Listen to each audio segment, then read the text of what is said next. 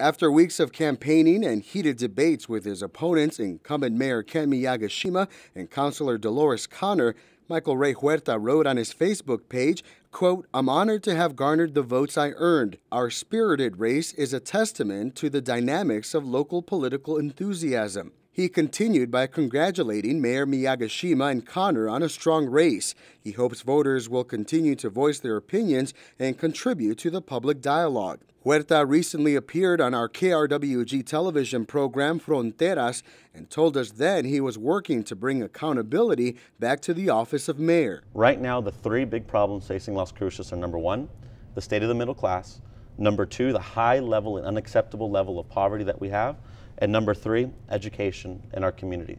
The number one thing we can do to address those three issues is work our hardest to bring good paying jobs to Las Cruces.